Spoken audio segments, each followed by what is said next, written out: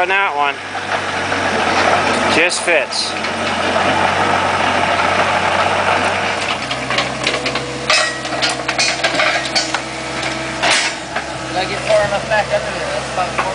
That looks good.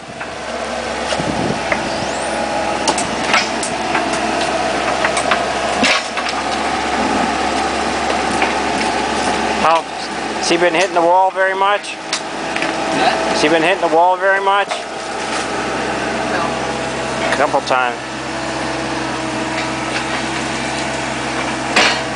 That spigot, that spigot shut off. So if you accidentally hit it, you don't worry about it unless you, unless you break a pipe inside.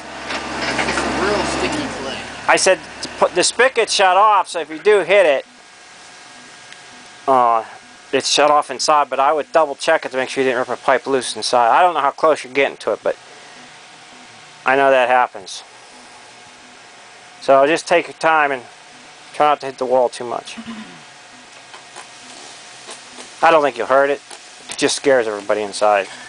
Who lives here? Don? Don? Yeah. I can tell they did all this when they built the house because we dug out I don't know how much siding pieces down through here that they threw in the ditch before they backfilled it. Well, that's her problem. We're gonna that where you're at is good.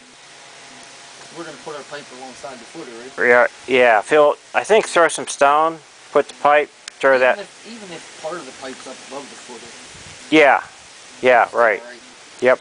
They didn't have no gravel in here for one, and what good's that? Because I'm pretty sure the, the floor is above four inches above that footer, the floor inside. Probably.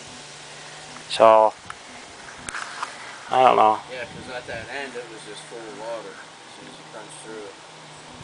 Yeah, that's where she's getting her water from. I bet you it's this downspout giving her a problem. Of course, it, you know what? They're getting this all this from this yard here coming Yeah, down. That's what I told her. Yep. Plus, I don't know where all their downspouts go into pipes, but I don't know where they go. Yeah. Hopefully not down this way, but Well, if you can, I'm gonna go. I'm gonna. Where do we want to dump at? Come out here and take a look. do you have gravel with you now? Yeah, I've got almost five ton.